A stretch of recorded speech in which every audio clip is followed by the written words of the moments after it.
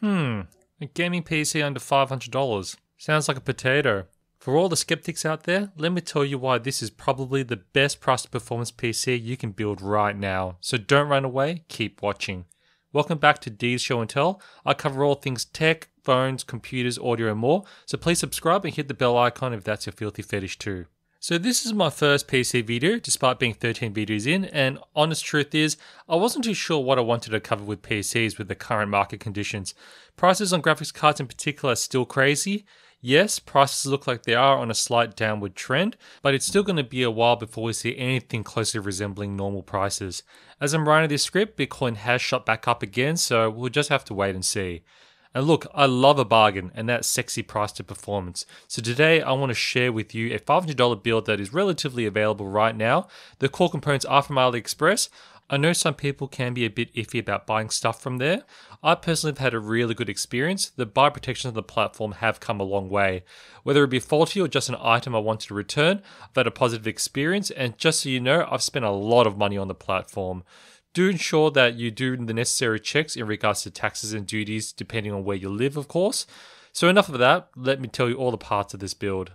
Firstly, I bought a CPU, motherboard, and RAM combo from AliExpress for about $160. That is dirt cheap. Let me tell you what I got. So the heart of the system, the CPU. This is the Intel Xeon E5 2640V3, an 8-core 16-thread CPU that turbos up to 3.4 GHz. I know that's not the highest turbo frequency, but given the newer game titles are utilizing more cores these days, you're going to see later on with some of the benchmarks that we can get some pretty good performance out of this. The Xeon chip was released back in 2014, so it is 8 years old now on the 22 nanometer Haswell architecture. I'm cooling it using an ID Cooling SC224XT air cooler, only because I have it from a previous build. I can recommend you to purchase a much loved Snowman cooler from AliExpress if you don't have a cooler lying around. The CPU itself fits into the LGA 2011 3 socket on the X99 platform, which as a side note, do have a dual CPU socket motherboard, which I do have on me right now for an upcoming home server multi-VM gaming build. So make sure you like and subscribe so you can see that in action. The motherboard and RAM we're using today is from a Chinese brand called Machinist.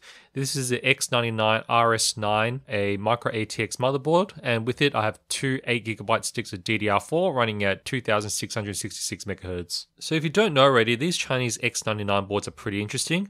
They are to my knowledge just cobbled together using old Intel chipsets that are likely sourced from faulty scrap motherboards. They've even been able to include newer features like NVMe M.2 slots on this platform, despite it not actually being a feature back in 2014. This means for the general consumer, your experience on this platform won't be too far off compared to buying a more recent Intel or AMD platform. And don't worry, I will talk about whether you're better off buying a more recent platform towards the end of this video. Now, this is a gaming PC, so the most important question is what graphics card could I put in here that would make this any better than the hundreds of other budget gaming builds on YouTube? So, this is a card that is known but somewhat forgotten. It's a 5GB NVIDIA GTX 1060, which I picked up for $250. I think prices have gone up a smidge to $265 now. Most people probably haven't heard of this card, and that's because it was a Chinese exclusive card that was aimed at internet or LAN cafes. It is a slightly cut version of the 6GB 1060, 160 bit memory bus versus 192 bit, but that extra VRAM over the 3GB version is a godsend. Regarding the $250 price tag, GPU prices can vary where you are and at the time of watching this video. So I just want to be clear that when I ordered it, it was a phenomenal deal and I encourage you to keep an eye on the card and compare its future price with GPUs in your local market. Onto the other parts of the build, I'm just using an old Thermaltake case I have. This is a H17. If you want to keep costs down, I would suggest perhaps a case and PSU combo. The Thermaltake Versa H21 combo comes with a 500 watt power supply, which is going to be sufficient in powering this system. The power supply I'm going to use in this case is the EVGA 850GA, only because this unit will be used in all my future builds. Lastly, I have a 240GB Western Digital Green SATA M.2 SSD. It was cheap and from a previous PC that I had. My recommendation is always going to be a SATA SSD over NVMe, provided there is a sufficient price difference if you're just gaming. In regards to system settings, I am going to do a turbo unlock as by default these boards won't let you turbo boost to the max on all cores, which is a must to get the most out of these Xeons.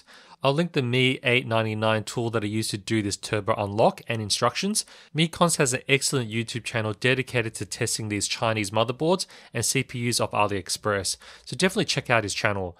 I've specifically chosen the X99 RS9 motherboard due to the compatibility with this tool. I would suggest you do your own research if you are looking at different X99 motherboards. Otherwise, you'll need to do it the old fashioned way with a custom BIOS flash, which is going to require a little bit more know how. I also want to mention that this build will not come out of sleep mode without a hard reset. It's not a big deal for me personally, but I just wanted to mention that. Okay, now let's get into the benchmarks. Firstly, Cinebench. 618 single core, 7251 multi core. For context, that is a multi core score similar to the processor like the i5 9600 or a Ryzen 2600, so it's not too shabby. The single core is on the lower side due to the aging architecture, but shouldn't hinder the performance too much, particularly when paired with this level of graphics card. I run all my games at 1080p. CSGO, I run at medium settings. Average frame rate is 211 and 1% low of 83. If you have a high refresh rate monitor, you'll have a very smooth experience. Call of Duty Warzone, I've run this at medium settings at 80% resolution scale, 1080p medium, and I got 103 frames per second and 59 1% lows. If you run this at 100% resolution scale, you can hit around 60 frames per second with some dips below that. So if you only have a 60Hz monitor, you can find a sweet spot between 80 and 100% resolution scale. Shadow of the Tomb Raider using the in-game benchmark, Low presets average 73 frames per second with 57 1% lows. I did also run it at medium and was getting just shy of 60 frames per second average, with 1% lows in the high 40s. So if you're after a bit more quality settings at sacrifice of FPS, it'll also do fine. GTA 5 medium settings again, 108 frames per second average and 68 frames per second 1% lows. GTA 5 is an older title, so as expected, no issues running this game. Forza Horizon 5, I've run Forza using the in-game benchmark medium settings, 68 frames per second average and 56 frames per second minimum. The game does suggest a high preset, which I don't agree with, as you won't quite hit 60 frames per second average and dips would go even lower. Lastly, Assassin's Creed Valhalla using the in-game benchmark, low settings, 64 FPS average and 42 1% lows. That's going to be a very good experience. Could you run the graphics at medium? Yes, and you're average in the 50s.